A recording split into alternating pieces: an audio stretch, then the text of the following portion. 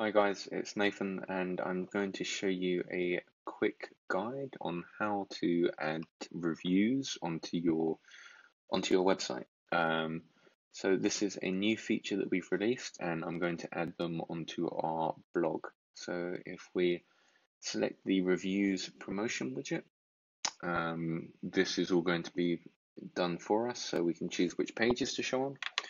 And I'm going to say URL contains blog and then what we can do is we can select from wherever we want to add. We can choose up to three different sources to pull from. So we support Product Hunt, Trustpilot, Airbnb, AlternativeTo, Amazon, Apple App Store, Better Business Bureau, Capterra, Facebook, Flipkart, Google Business, Android Play Store, um, TripAdvisor, and TrustRadius. So in this example, I'm just going to display some other reviews just to make it very very quick. Um, so yeah, we, we can pull from, let's do like Facebook Trustpilot reviews, um, because I haven't got a page of Notifier on, on Trustpilot.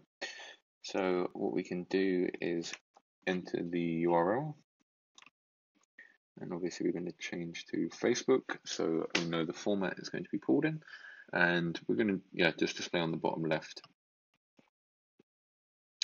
Click save.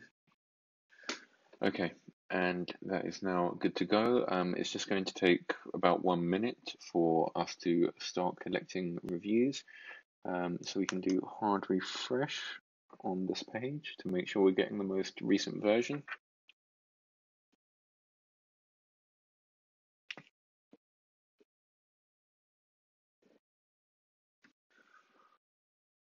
And yeah, okay, so it's pulled our first review. Uh, but yeah, obviously they're not our reviews, so it's actually one star. Um, but yeah, they are displaying correctly. So yeah, saying video chat failed. Um, mm -mm -mm.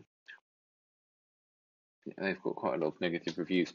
Um, so yeah, it's it's successfully pulled the first ten reviews, um, and I'm also going to be um, adding into this uh, like sorting reviews, so it will display your best reviews first. Um, I'm also considering doing something like only showing like four or five star um, reviews.